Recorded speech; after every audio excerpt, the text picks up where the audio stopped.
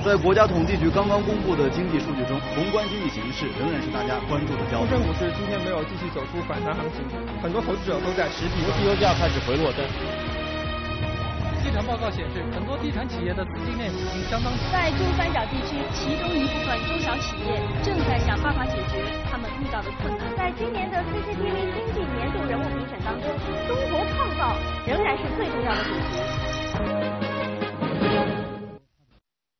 G 二零峰会今日召开，二十国首脑共商全球经济。这次韩国卯足了劲儿，要谈经济的发展。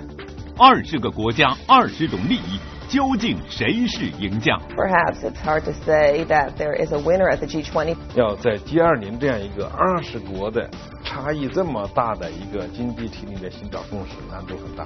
大家晚上好，欢迎您收看经济半小时，我是谢莹莹。今天呢，全球的目光都聚集到了韩国的首都首尔。二十国集团，也就是我们常说的 G20 领导人的第五次峰会，在这儿举行。从全球金融风暴中一路走来的 G20 峰会，已经诞生了两年的时间了。和之前的华盛顿峰会、伦敦峰会、匹兹堡峰会、多伦多峰会相比，这次首尔峰会的焦点会聚集在哪些议题上呢？从峰会上，我们都能够获得哪些关于全球经济走势的重要信息呢？从今天开始，我们栏目将会连续的跟踪报道。我们的关注点呢，也首先从 G20 峰会本身开始。今天，二十国集团首脑相聚韩国首尔，召开 G20 第五次首脑峰会。本次会议将以汇率、全球金融安全网、国际金融组织改革和发展为四大主要议题。这是 G20 首脑峰会首次在亚洲国家举办。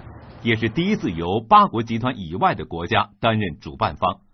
主办国实际上，它是一个啊一个议程的制定者，一个思想的碰撞的组织者，它是一个理念形成的一个推动者，所以这点是非常非常重要。李道奎告诉我们，这次峰会的侧重点将从以往的应对金融危机转变到发展上，这也是首尔峰会的独特之处。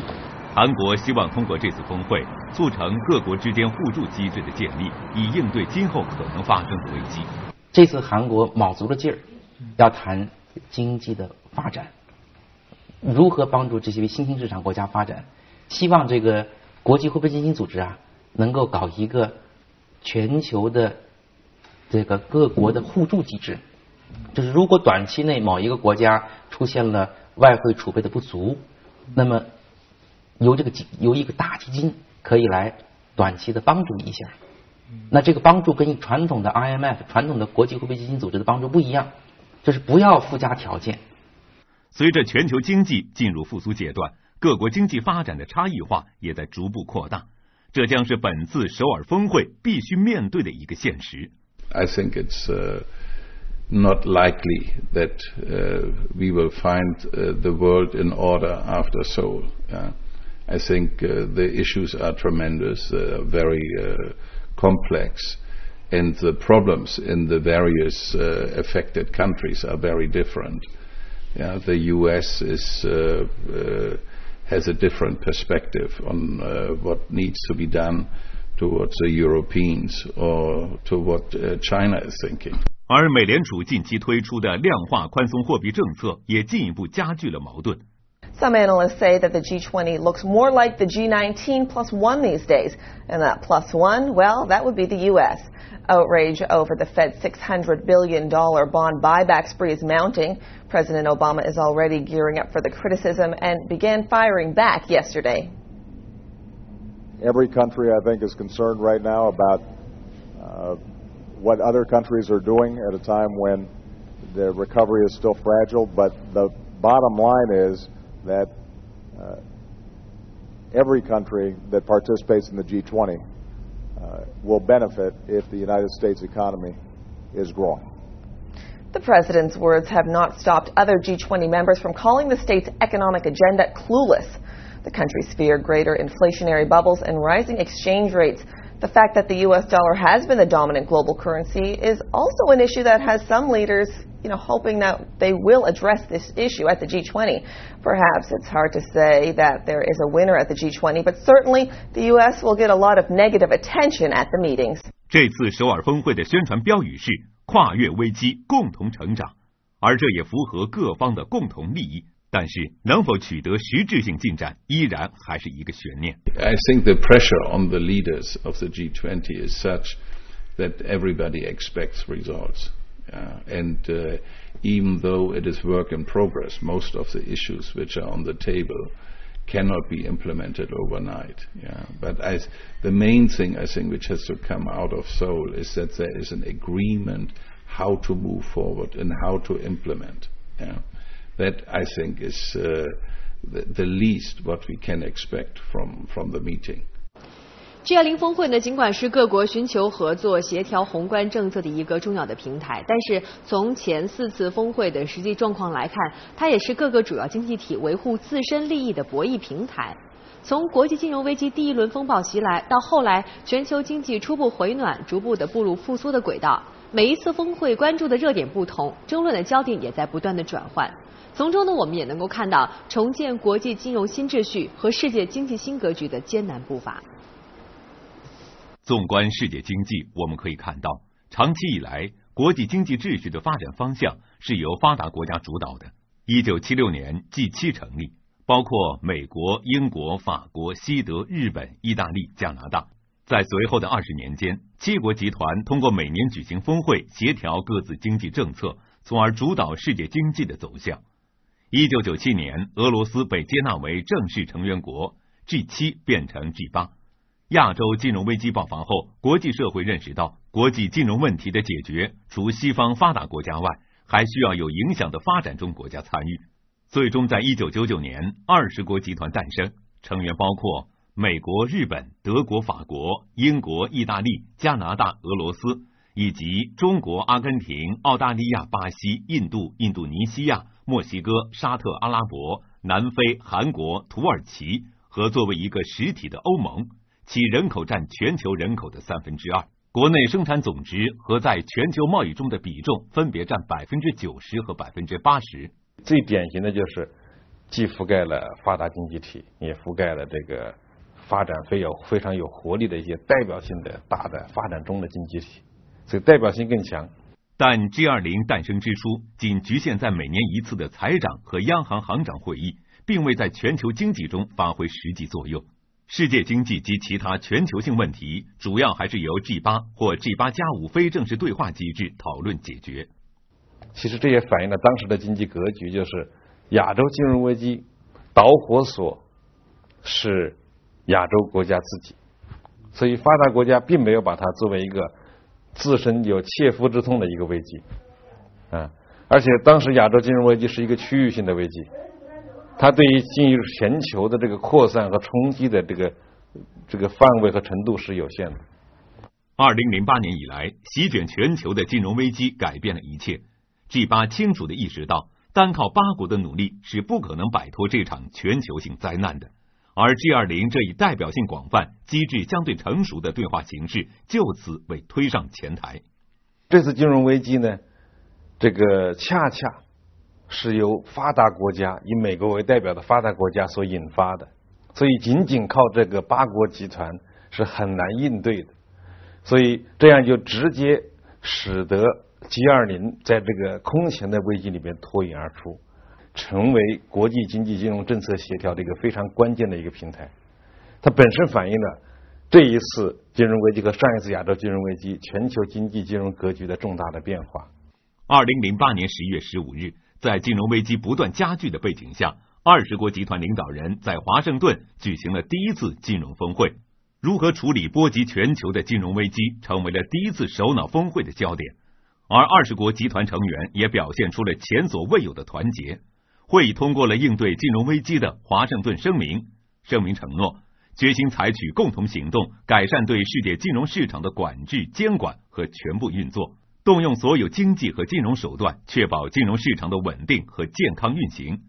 但是，由于经济利益和立场不同，各国之间仍然存在着分歧。在第一次峰会上，呃，欧洲啊，他可能非常强调加强金融监管，强调美国的金融监管的不到位，出现了重大的缺陷，金融机构的过度的投机，引发了全球的一次金融体系的一次大的危机。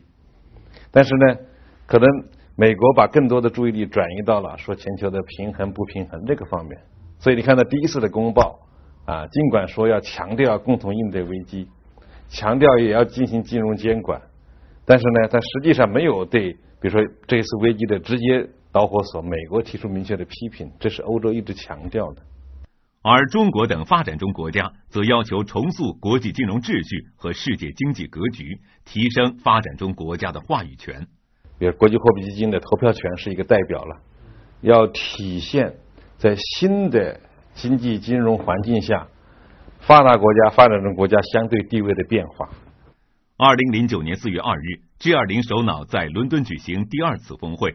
美英作为现有的世界金融格局的缔造者和受益者，强调如何度过危机；而法国、德国等则希望抓住这一重大的历史机遇，来改变美国和英国所主导的金融格局。而发展中国家一方面希望各国携手度过金融危机，另一方面也希望完成金融体制的改革，从而反映出自己更多的权利。除了中国，其他新兴市场国家还面临一个共同的问题，就是资金短缺。因此，他们希望发达国家增加对于发展中国家的短期金融援助。尽管有众多分歧，但是面对金融海啸，各国依然能够团结起来，采取共同行动应对危机。This is the day that the world came together to fight back against the global recession. Not with words, but with a plan for global recovery and for reform. and with a clear timetable for its delivery. And our message today is clear and certain.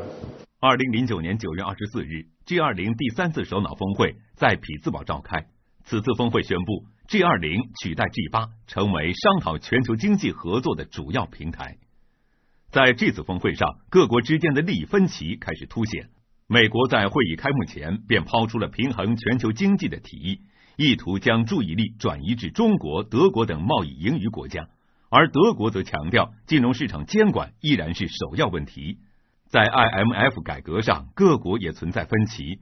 美国提出的方案主要是削减欧洲国家的席位和投票权，但是英法等国则认为投票权改革应该和美国的一票否决权改革同时进行。此外，法国明确表示希望银行业奖金实行封顶限制。但是美国对此却仍然持保留态度。二零一零年六月二十六日，在多伦多召开了 G 二零第四次首脑峰会。这次会议上引人注目的一点在于美国和欧盟之间的分歧。美国的首要任务是保增长、促就业，因此要求继续推动经济刺激计划；而欧洲由于面临主权债务危机，首要任务是削减财政赤字、度过危机，因此主张紧缩财政。有别于金融危机爆发后的第三次峰会，本次峰会没能就核心问题达成一致。呃，按照国际舆论认为，多伦多的这个第四次峰会啊达成的有效的成果，就明显小于在危机时期这个华盛顿峰会、伦敦峰会和匹兹堡峰会。因为危机时期大家感觉到有一致行动的这个迫切性啊。那么，这个在经济开始分化复苏之后。要在 G 二零这样一个二十国的差异这么大的一个经济体里面寻找共识，难度很大。G 二零从它成立之初曾被寄予厚望，但是由于各国利益的分歧而争议不断，这自然也影响到每次峰会所产生的实际效果。在二零零八年召开的华盛顿峰会上，二十国集团领导人表现出前所未有的团结，就应对世界面临的金融和经济问题的措施达成了行动计划。并在加强金融监管、强化国家合作等五个领域达成共识。与此同时，美国、日本、欧盟等二十国集团领袖还作出承诺，至少十二个月内不会实行保护主义措施。然而，这些领袖们的共同声明墨迹未干，许多国家就把这一承诺抛在了脑后。在峰会结束仅仅三天，印度就宣布对进口豆油开征百分之二十的进口税。印度尼西亚宣布对至少五百项产品实施进口管制，紧接着，俄罗斯、巴西和阿根廷也纷纷调高部分产品的进口关税，一场贸易保护混战就此拉开序幕。全世界都是处于非常困难的时候，发达国家现在正在讨论它会不会二次探底，他们把这个呃祸水外引是吧？那么从国内的政治舆论来说，从这个啊国内的这些利益团体的压力来说，等等这些方面，很容易使一些国家它加大这种贸易保护主义的这种倾向。汤敏告诉我们，金融危机爆发的特殊经济环境是这些国家没能遵守承诺而纷纷掀起贸易战的主要原因。在首次 G20 峰会召开的十二个月之内，二十个成员国中有十七个国家相继实施了贸易限制措施。某些国家，你采取这些政策来侵犯了我，所以我也不得不去做些什么啊防御的政策。每个国家都认为它有一定理由，是吧？每个国家都出于各种各样的说，是因为你怎么样了，我才怎么样。最终。首次华盛顿金融峰会被很多媒体认为是承诺太多，行动太少，只能画饼充饥。如果说在华盛顿峰会上，G20 各成员国还有一些时间来争论谁是此次金融危机的罪魁祸首，那么在2009年4月召开的第二次 G20 伦敦金融峰会上。如何摆脱目前危机？如何改革国际金融体系？如何防止危机再次发生？则成为伦敦峰会的主要议题。在这次峰会上，多个国家在声明中承诺自觉不从事竞争性货币贬值，但这一承诺的时效也大打折扣。就在不久前，美联储刚刚宣布正式启动第二轮量化宽松政策。由于美元是个是国际上的一个中心货币，它一扩大流动性。并不一定能复苏美国经济，反而流动性就会流到其他各国，那么引起了各国汇率的波动。所以九月份以后呢，各国汇率全部都开始波动。那么各国为了平抑汇率呢，有的国家就开始汇率干预政策。不管量化宽松政策能不能刺激美国经济复苏，但它对其他国家可能会产生的影响，让很多经济学家感到忧心忡忡。你看，现在各国都竞相在贬值，或者竞相在量化宽松，竞相在扩大他们的货币政策。这个时候，就是大家都在发钱，那么最后结果是什么？就是出现全世界的流动性过剩，各国都发钱，最后结果就是整个的全世界通货膨胀上涨，很可能这个危机可能会变成一场更严重的危机。事实上。G20 的前四次金融峰会，在世界各国携手共度金融危机上起到了重要作用，但很多在峰会上已经达成的共识，并没有得到有力的执行。那么现在它基本上说是还是一个论坛性质的，是大家达成共识，但共识并不一定是大家一呃是个呃决策或者一个政策性的机构一定会要这么办。实际上呢，在 G20 峰会上，我们看到的合作也罢，争论也罢，都是后金融危机时代全球重新调整经济板块的一个缩影。这个过程是漫长而复杂，中间充满了很多不确定的因素。那么，作为一个在危机当中诞生的对话机制，G20 峰会能否走下讲坛，真正的把领导人的口头共识变成各国的实际行动呢？一分钟广告之后，请您继续关注我们的节目。欢迎回来。回顾 G20 峰会两年来的历程呢，峰会最初展现了全世界面对金融海啸同舟共济、互利共赢的精神，给身处危机中的人们带去了宝贵的信心。可是，随着金融危机的演化和议题逐渐深入，也有人对 G20 峰会有了更多的期待。不仅是希望看到各国领导人坐而论道，更希望它能够发挥出实效。这样的期待能够实现吗？我们再来听听各方的分析。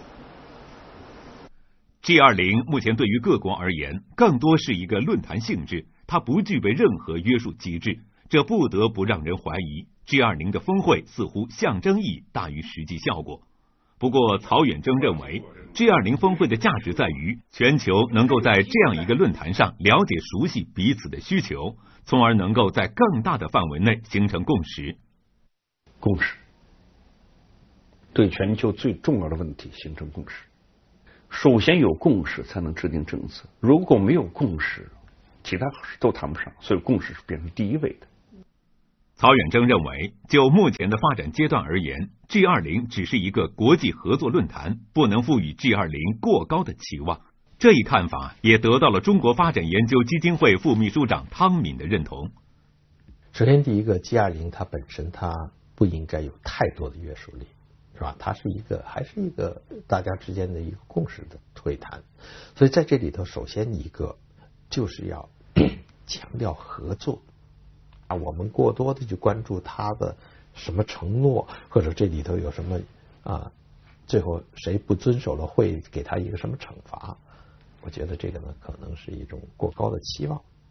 对于 G 二零目前发展阶段中存在的不足之处，汤敏也提出了自己的意见和建议。老是讨论那些敏感、解决不了的问题，不注重求同，而且老去讨论那些存异的地方，是吧？他就啊，应该来说解决不了问题。第二个呢，就是这个 G 二零呢，它本身呢，可能需要一些试错。我在这种摸着石头过河的过程中呢，可能要多试几种。方式，那目前来说，老是集中一种，基本上一种方式，或者一两个题目，老在这讨论，能不能再多几种方式，是吧？看看哪个比较好过河。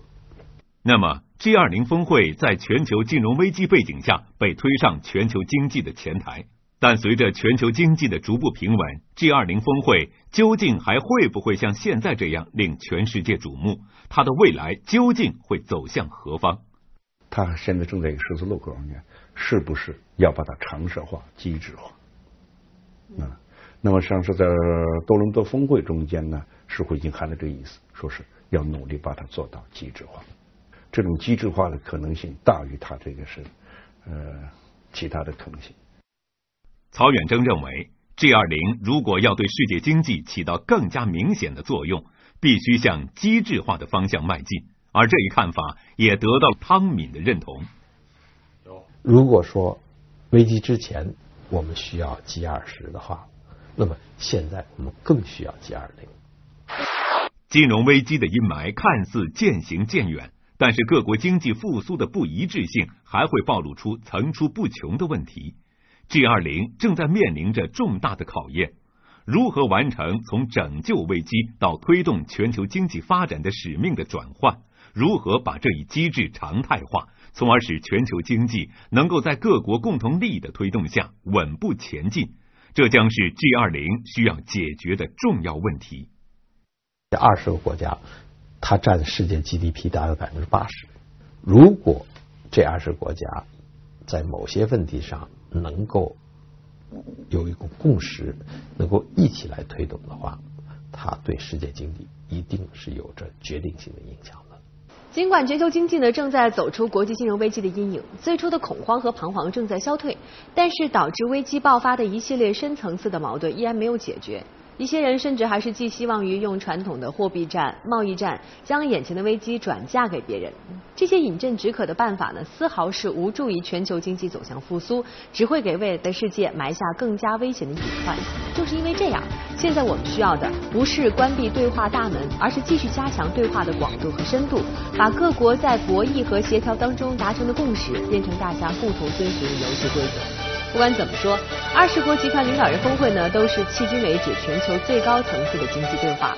我们有理由期待，随着它走向常态化和机制化，让世界经济听到的是更多的福音，而不是一次又一次的争吵声。